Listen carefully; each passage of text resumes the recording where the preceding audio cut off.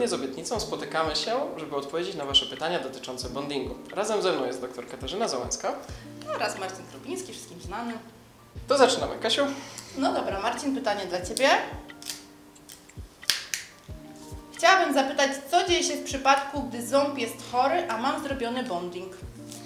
E, Bonding pokrywa jedynie zewnętrzną część zęba, tak jak licówka ceramiczna. Dlatego daje nam możliwość w przypadku pojawienia się jakichś ubytków, potrzeby leczenia kanałowego, zawsze mamy dostęp do zęba od strony podniebiennej. Dlatego bonding nie eliminuje możliwości leczenia zarówno zachowawczego zęba, jak i przykład ortodontycznego w przyszłości.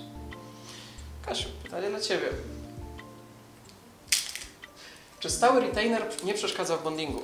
Nie, retainer w ogóle nie przeszkadza w bondingu. Wykonujemy takie zabiegi pacjentom po leczeniu ortodontycznym. Bardzo często pacjenci muszą być ortodontycznie przygotowani, e, periodontologicznie do wykonania bondingu lub innych zabiegów mm, stomatologii estetycznej, także nie przeszkadza nam w wykonywaniu takich zabiegów. Dobra, teraz pytanie dla Marcina. Marcin, Czy można wykonać w celu korekty krzywych zębów zamiast aparatu? Dlatego przy leczeniu estetycznym najpierw zaczynam od konsultacji, ponieważ właśnie zarówno bonding, jak i licówki czy korony protetyczne czasami można wykonać w celu właśnie zamaskowania problemów ortodontycznych. Jeśli wada ortodontyczna jest nieduża i korekta za pomocą bondingu w celach estetycznych absolutnie usatysfakcjonowałaby danego pacjenta, to nie ma żadnych przeciwwskazań, żeby te, wykonać bonding, a nie najpierw leczenie ortodontyczne. Często natomiast jest tak, że kierujemy pacjenta na ortodoncję przed wykonaniem zabiegu estetycznych. A ja bym tutaj jeszcze chciała dodać, co do właśnie tutaj leczenia na przykład ortodontycznego, że ostatnio coraz częściej mamy pacjentów, którzy wykonują zabiegi z zakresu medycyny estetycznej przed wizytami. I e, chcielibyśmy zaapelować, żeby nasze pacjentki na trzy tygodnie przed e, leczeniem stomatologicznym nie ostrzykiwały się, a w szczególności nie ostrzykiwały ust. Marcin, kolejne pytanie dla Ciebie. Jakieś proste, proszę. Nie ma prostych pytań. Czy podczas jednej wizyty można wykonać podcięcie dziąsła i bonding? Tak jest, bardzo często tak wykonujemy. Jeśli mamy zaplanowaną gingiwektomię, czyli korektę też, czy plastykę linii dziąseł, możemy wykonać to na jednej wizycie, ponieważ jesteśmy w stanie wykonać taką odbudowę dodatkowej izolacji i to, że nawet zaraz po takim zabiegu pojawia się jakieś krwawienie, nie przeszkadza nam w wykonaniu odbudowy estetycznej podczas jednej wizyty. I pomaga to też o tyle, że gojenie dziąseł, gojenie nowej girlandy dziąsłowej przebiega już na docelowym kształcie zębów, jaki chcemy u danego pacjenta uzyskać. Pytanie, czy można go bezpiecznie wykonać mając bruksizm leczony botoksem? I tutaj pytanie, czy y, botoks jest y, leczeniem bruksizmu? Owszem, na pewno pomaga bardzo w komforcie życia pacjenta, ale nie leczy przyczyny y, bruksizmu. E, bruksizm leczymy w gabinecie stomatologicznie, bardzo często wspierani jesteśmy przez fizjoterapeutów, a botoks y, pomaga pacjentowi na 4 do 6 miesięcy i pytanie wtedy co dalej. Dobrze, Marcin, no to kolejne pytanie dla Ciebie tu od Pani Dominiki. Czy bonding niszczy zęby? Odbudowy estetyczne, takie jak bonding czy licówki ceramiczne, prawidłowo wykonane nie tylko nie niszczą zębów, ale wręcz potrafią rozwiązać wiele problemów w jamie ustnej. Prawidłowo wykonana tego rodzaju odbudowa osłania te zęby, dzięki temu, że jest gładka, ułatwia też oczyszczanie, no już nie mówiąc o tym, że rozwiązuje wiele problemów estetycznych danego pacjenta. Zamknięcie przestrzeni, jeśli są większe przestrzenie pomiędzy zębami za pomocą bondingu czy licówek ceramicznych, również zmniejsza zaleganie w przestrzeni międzyzębowej. Więc generalnie bonding nie niszczy zębów i dzięki temu, że najczęściej wykonujemy go bez naruszania własnych tkanek zębów, jesteśmy w stanie ten proces czy zmodyfikować, czy odwrócić w przyszłości. Kasiu, pytanie do Ciebie.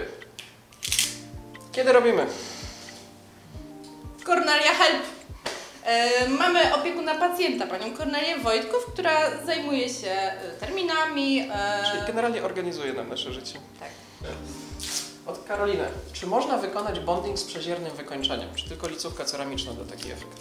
To wszystko zależy od tego, jakiego e, efektu ostatecznego koloru oczekuje pacjent. Bo jeżeli pacjent e, chce mieć zęby mocno białe, super białe, to ten kolor będzie dużo bardziej e, kredowy. Jeżeli chciałby pacjent mieć kolor zębów zbliżony do naturalnego albo po prostu wybielone, to jesteśmy w stanie użyć materiałów, które są bardziej przeziębne. Chcesz coś Marcin dodać? Myślę, że dokładnie tak, bo kolory te hollywoodzkie, te takie super wybielone, one się cechują właśnie dużą siłą maskowania własnych zębów. I w momencie, kiedy użyjemy takiego super jasnego koloru, to ciężko jest uzyskać tą naturalną przezierność końcówki zęba. I dodatkowo, jeśli chodzi o odbudowy kompozytowe, tą przezierność trzeba uzyskiwać bardziej szarym kompozytem.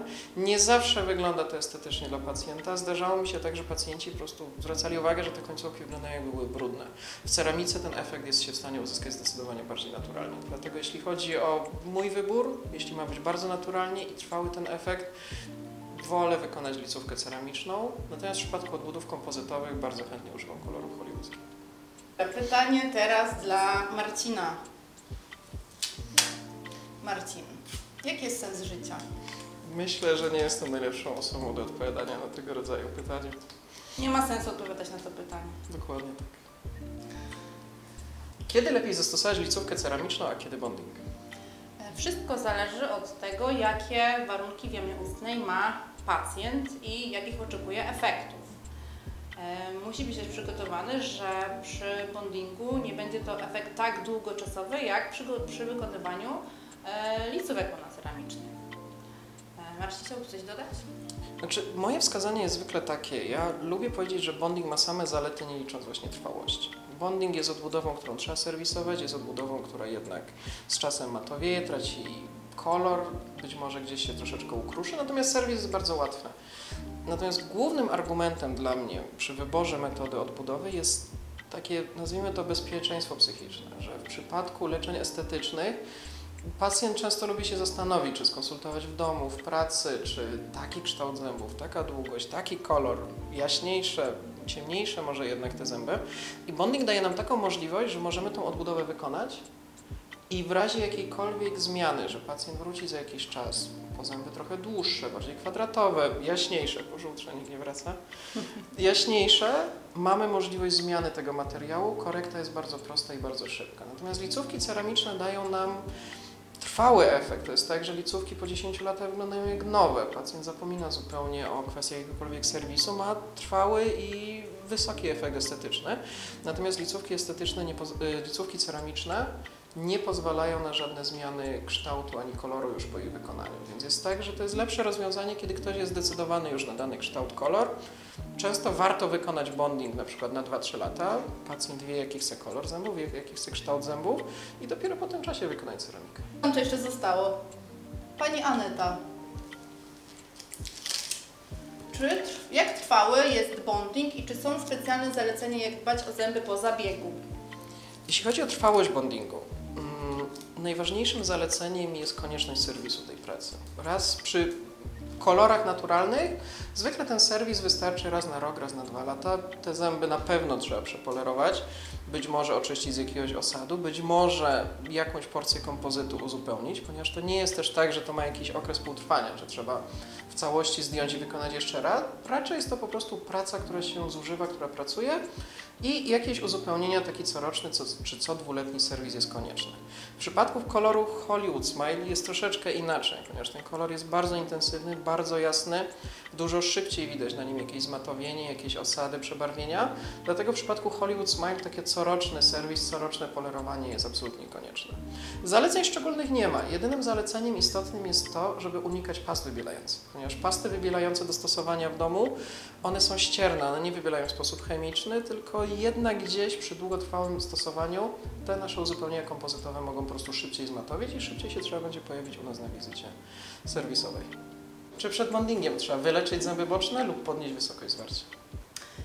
Yy, Zacznę od tego, że bez względu na to, czy robimy bonding, czy nie, to zęby należy leczyć. Yy, Jeżeli chodzi o podnoszenie zwarcia, to wykorzystujemy różne metody. Yy, Bardzo fajną metodą do podnoszenia zwarcia jest wykonanie flow injection, czyli po deprogramacji ustalamy sobie, projektujemy z technikiem e, ostateczny efekt podniesionego zwarcia e, w 3D i jesteśmy w stanie wzorować to jeden do jednego u pacjenta w jamie ustnej. Kiedy najbliższy termin wolny na bonding? Mm.